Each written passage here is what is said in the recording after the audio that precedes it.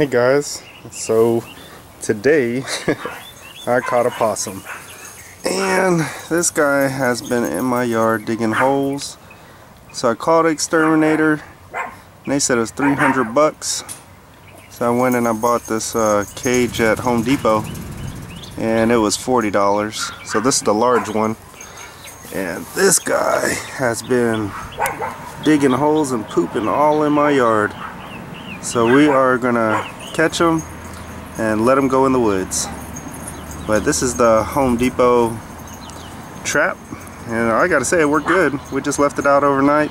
I put some peanut butter on that plate right there and I mean the next morning peanut butter, two pieces of melon. Next morning I caught them. So uh, we, I guess the goal is not to get bit and let him go free. So So that's the trap that we got at uh, Home Depot. This is the large one. It's about 40 bucks like I said. It worked really good. Uh, that's what I did pretty much. I just covered them up. I cut a little hole in the towel and we are going to put them back here. Lined it with cardboard and put put some uh, put a towel down so it doesn't pee all over my car. Here he is, and we are going to release him in the woods.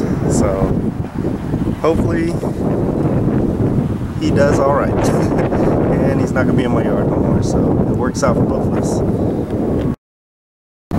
Get back. There he is. all right, get off in the woods. He's scared to even leave the cage. Give him a little shake. Come on, get out of there. There he is.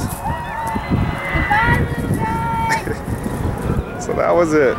That was 300 bucks. That was not bad. Buy this cage, save yourself 200 and what 40 bucks.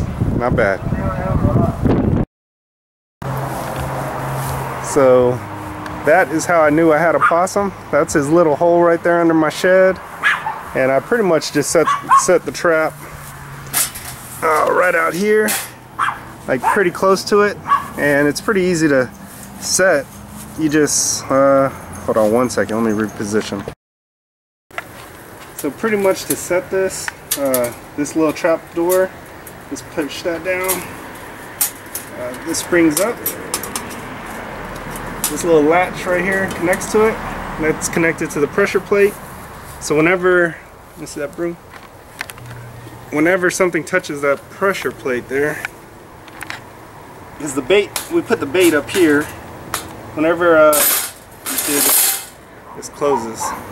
And it works good. So that's pretty much it. Thank you.